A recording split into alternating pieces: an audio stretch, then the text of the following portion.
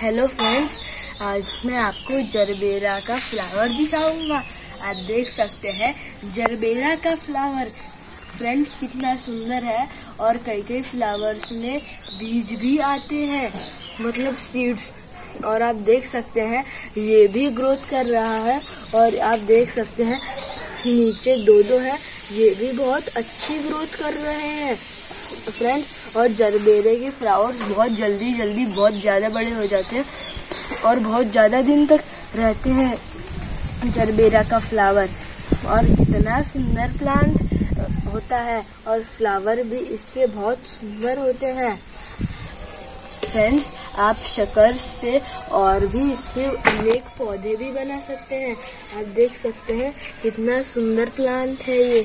Friends ये देखिए, नीचे नए पौधे आ गए हैं। इनको ही शकर्स बोलते हैं और इनको उखाड़ के ऐसे लगा देंगे तो बहुत सारे पौधे आप बना सकते हैं ऐसे कर करके। और इसके फ्लावर भी बहुत सुंदर लगते हैं। आप देख सकते हैं कितने अच्छे इसके हैं। आप देख सकते हैं। और इसमें भी बहुत सारे शकर आ रखे हैं। दोनों में शकर आ रखे हैं। और ये बहुत ही ज़्यादा सुंदर प्लांट होता है।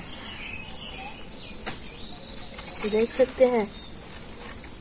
और आप मेरे चैनल को लाइक शेयर एंड सब्सक्राइब ज़रूर से कर देना।